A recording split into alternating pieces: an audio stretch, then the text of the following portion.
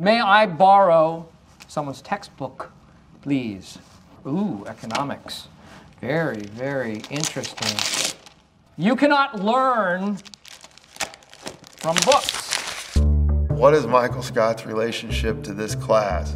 Generally, the way we present him is as an example of how not to think about economics. Productivity is important, but how can I be productive if I have this one little thing in my brain that I cannot get out? And that one little thing is a soft pretzel. He's wrong a lot.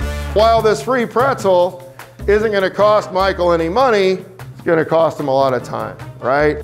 People are kind of aware that I'm the office guy, I guess. And honestly, I just started sitting at home on a Thursday night watching The Office on TV and taping it and saying occasionally, oh, I could like relate that to the class. I bought out every store in the area over the last couple of weeks. And as lazy parents become more desperate, I will sell them at an enormous profit.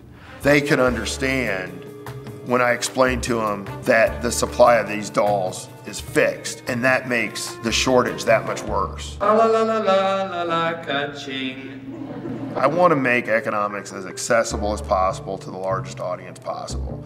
And I want to alleviate some of the fears that people may have about taking a Principles of Econ class, and I know those exist. If I can get one big lesson that they can take and they can relate to and they can understand it, and this is an easier way to make it accessible, then we've done something.